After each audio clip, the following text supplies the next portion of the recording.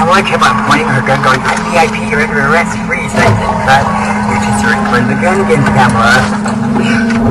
Everything you say, everything you think, everything doesn't want to be about.